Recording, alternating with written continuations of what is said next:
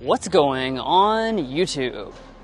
So the saying goes, bigger is better. And when it comes to the three-row midsize SUV segment, the Chevy Traverse has long been one of the very biggest options you can get. Now it's time for a new generation, and that's what we're standing next to right now. This is the all new 2024 Chevy Traverse, and we also have the RS trim and the Z71, which is a new trim for 2024. So let's not waste any time. Let's go ahead, and jump right in, and show you guys one of the biggest family crossovers money can buy.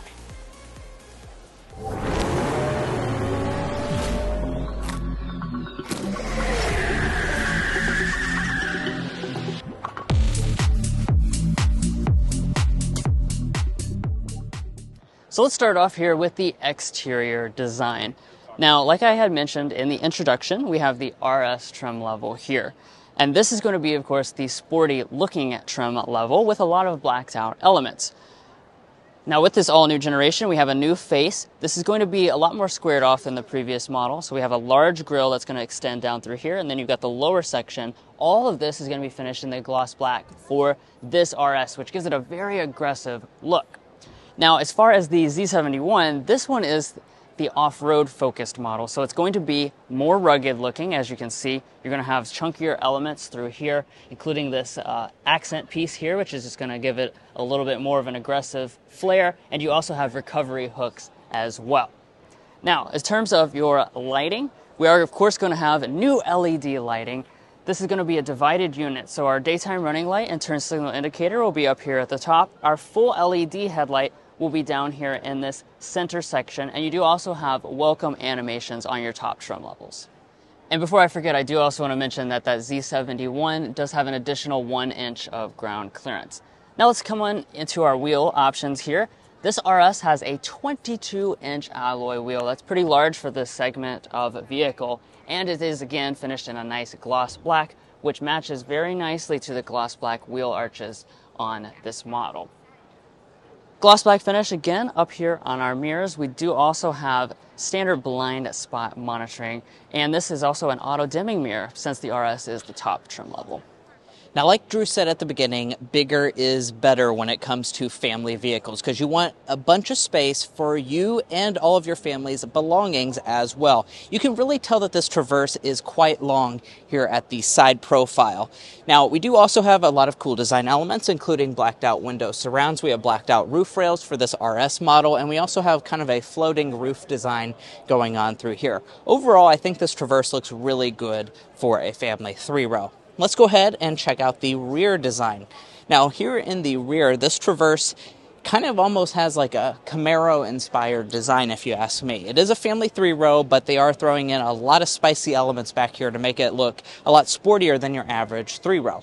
So as far as what that is, we have a spoiler up top, blacked out uh, piece right through here, a blacked out Chevy bow tie, and our taillights are actually going to be a very nice LED design. They're going to be a clear lens here on the uh, RS trim level, and if you choose the uh, Z71 over there, you will actually have kind of a red finish to your taillight. Dropping down to this lower area, we do have this all finished in a gloss black, and we're also going to have quad exhaust outlets. I honestly never thought I would say we have quad exhaust outlets on a family three row, but here with the Traverse, we do indeed have them. Now, I do want to talk about your safety systems for this Traverse. You're actually going to get most of them as standard equipment, three out of your four active ones as standard. Adaptive cruise control is optional, and with this new Traverse, you have the option of getting Super Cruise. So, yeah, you're going to be able to hands free drive this Traverse on the higher end models. Very cool feature, once again, for a family three row. When you're going on all those family road trips, you're not even going to have to drive. But, guys, there's a lot to show you on the inside, so let's go ahead and dive into that. But first, if you're new here, we're brothers and we've been reviewing cars since we were 12 and 16. We may be young, but we love cars. And we'd love for you to subscribe to be a part of our Car Confections family. Let's learn a lot, have some fun with all the latest cars. Now let's go ahead and check out the interior. As cool as the exterior looks, it's honestly the interior that's the most important for a family crossover. Now obviously you're going to have systems like a smart entry access, and check out the interior. This is going to be a full redesign of everything inside of the cabin to give you that latest Chevy design and a lot more luxury, frankly, than the previous generation. So like I mentioned earlier, this is the RS trim level. So that's going to give you some additional sporty flair. That pop will continue to the interior where we're going to find a leather seat with a lot of red color contrast stitching. I like the design on this. We've got the red strip down the center, red accent stitching, perforation throughout, and overall very nice looking seat. You're going to have several ways of adjustment as well, including a four-way lumbar support and memory seats will be built into the door trim as well. But let's climb inside and kind of get into the individual details. Step in height's going to be nice and easy, and as soon as we get inside, we're going to be greeted with a really cool looking animation that's going to go across these two displays. And, you know, honestly, since they're already lit up, let's talk about these displays real fast because they are something that really stands out about this interior. This is a 17.7 inch display. This is the largest display in the class. And as you can see, very impressive. We have thin bezels that go throughout this display. Huge graphics that are going to be very easy for you to press. Um, it's going to be a nice responsive display as well. Uh, it is in a demonstration mode right now. It's why I can't interact with it. But as you can tell, just really, really one of the most impressive elements about this interior because it is such a bold statement as soon as you get inside. Now, of course, you do also have a digital gauge cluster as well, which is going to be 11 inches. Now, as we kind of look around the rest of the cabin, let's assess the overall material quality.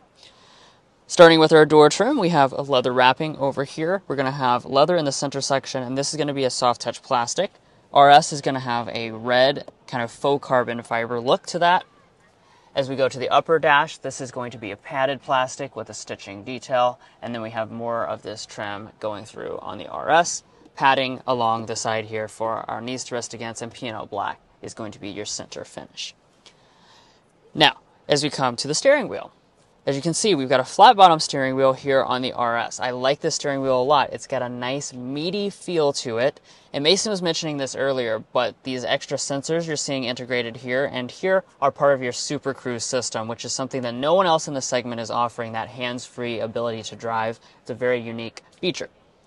The wheel itself will be power tilt and telescoping actually on this top model, and it is also heated as well. And while we're in this area, we might as well talk about this because we have the shifter actually located up here on the column. So this is a column-mounted electronic style, kind of similar to some of the um, Chevy's electric models that they've been using recently. This is not electric, but it does have the shifter up here, which is going to give you a lot more space when it comes to the center storage.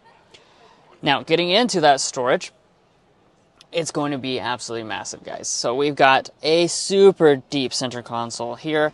It's got a little lining down there at the bottom. We have a storage cubby that's going to be located right here. That's also quite sizable. Two cup holders, a large storage tray with wireless phone charging pad. And then this right here is what you really free up when you're talking about um, not having a shifter. This gives you the access to have this huge pass through where you can stick a purse, any type of family item, stuff like that will easily fit underneath it there. Now, in terms of our climate controls, we do have a three zone automatic climate. I like that Chevy's keeping the knobs and controls very traditional so you can easily access those right through there. And the audio system on this top model will be a Bose advanced audio system. Obviously, a lot of controls are going to be inside of the display itself, but they are actually maintaining a traditional volume knob, which allows you to make those adjustments right there.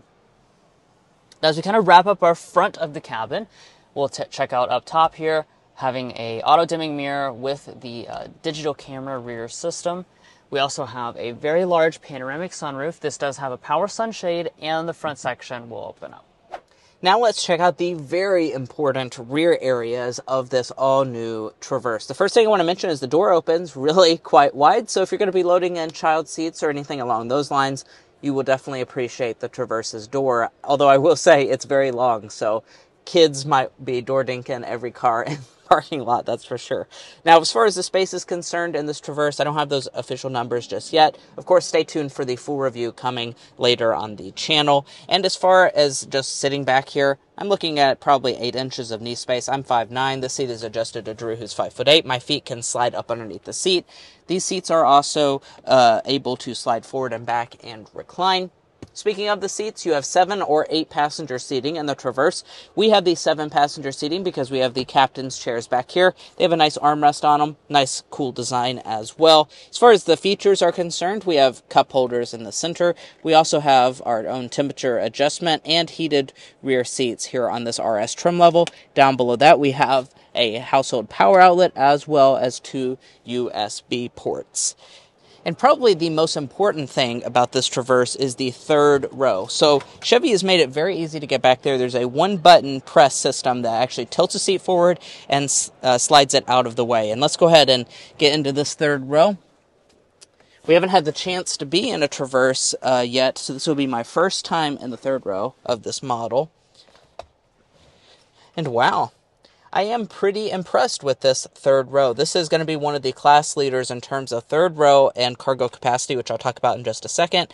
Um, as far as this seat is uh, adjustment, this is actually slid all the way back. Like I said, I'm five foot nine, and I don't have a lot of spare leg room so I will say this might be a little bit smaller than the Grand Highlander in terms of legroom. However, the thigh support is absolutely fantastic, and the headroom is fantastic as well. You could be like six foot five and fit back here in this Traverse's third row.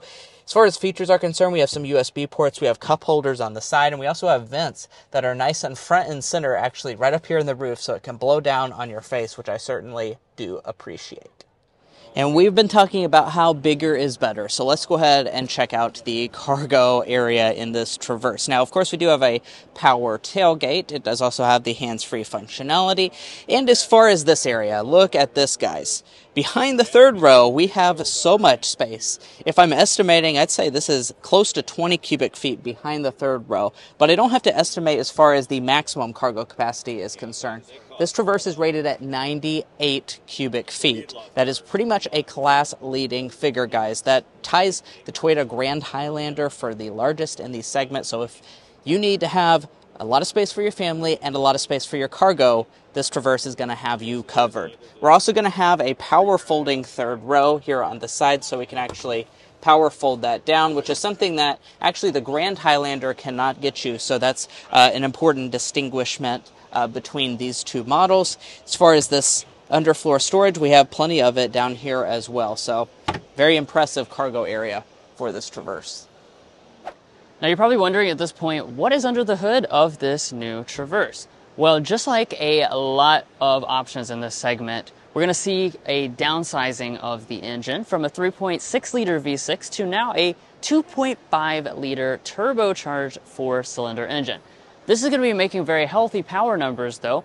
315 horsepower, 317 pound feet of torque. Like I said, very class competitive numbers in terms of your overall power, and they will be giving you that power plant across all of the available trim levels for now. As far as your transmission, you're going to have an 8-speed automatic. You're going to have all-wheel drive available on all trim levels, but specifically on the Z71, it will be a fancier twin clutch all-wheel drive to help you off-road. And obviously, this is a early model, so we don't have any official fuel economy ratings, but we look forward to, on this channel, testing out this Traverse very extensively in the future. So make sure you subscribe. That way you can stay tuned for all the updates when we drive this all-new Traverse. No official pricing information has been released just yet, and if you're looking to buy a Chevy Traverse or any new vehicle, we do want to remind you to go to carconfections.com slash new car quotes. But guys, that's going to be where we leave off on this in-depth review of the 2024 all-new Chevy Traverse. If you enjoyed watching this video or found it helpful in your purchasing decisions, we would really appreciate it if you hit that subscribe button down below. By subscribing, you help get us invited to stuff like this LA Auto Show where we can sample out some of the latest cars on the market. Now, if you're a fan and subscriber, thank you so much for your continued support because you do make this all possible, and we'll catch you next time as we sample more of the latest automotive delicacies.